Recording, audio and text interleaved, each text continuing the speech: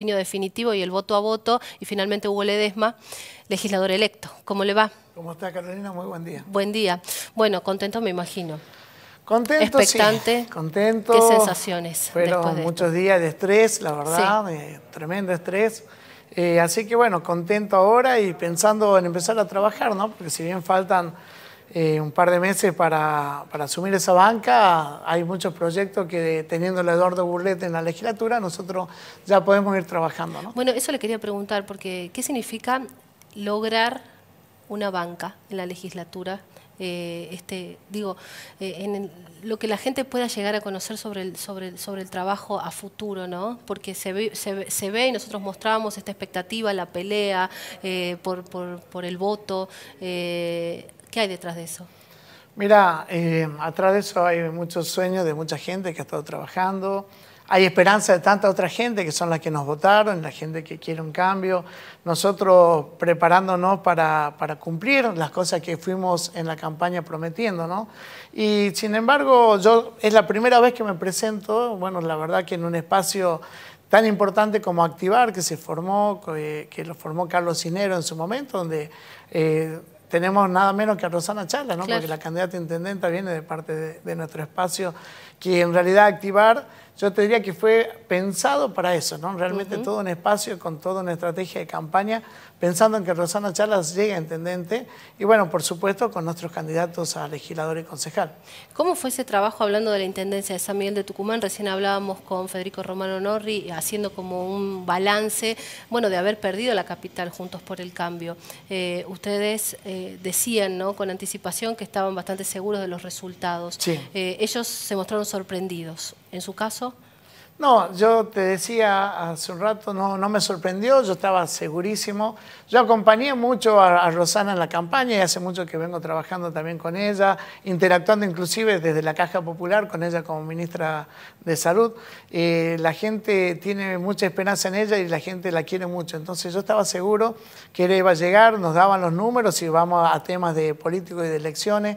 Eh, yo no, nunca tuve la duda de que Rosana iba a ser. Aparte había un cansancio de la gente ya de una gestión que no era tal, digamos que no, había una gestión, eh, un San Miguel de Tucumán bastante olvidado, un San Miguel de Tucumán eh, bastante en crisis, ¿no? Si vamos a ver temas semáforos, calle, eh, salud, con, lugares como asistencia pública cerrada, como lugares como el Palacio de los Deportes derrumbándose.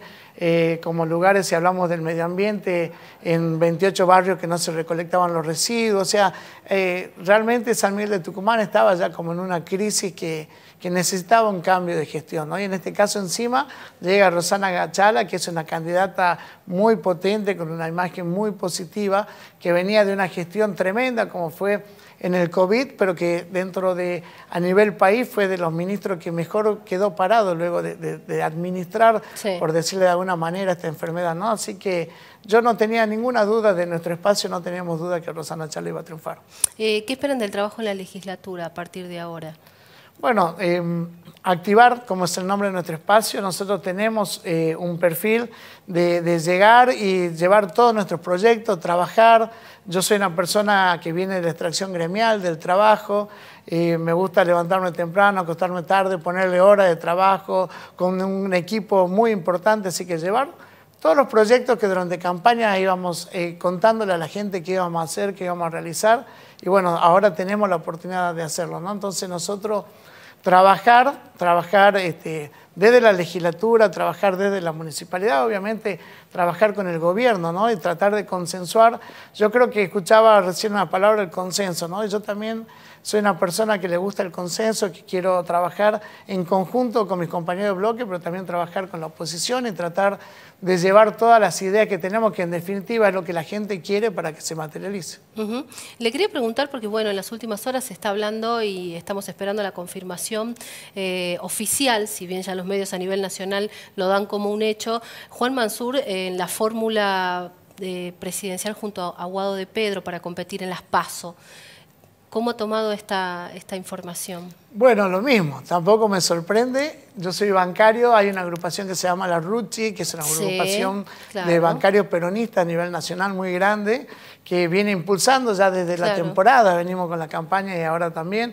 Eh, nosotros a, Juan Mansur lo vemos presidenciable desde hace mucho tiempo porque es una persona que tiene una figura nacional e internacional, tiene muchísimos aliados, mucha gente que, que lo quiere, que lo valora y yo creo que a la Argentina le va a hacer mucho bien que Juan Mansur esté en la fórmula y, que sea este, presidente o vicepresidente eh, en esta nueva elección.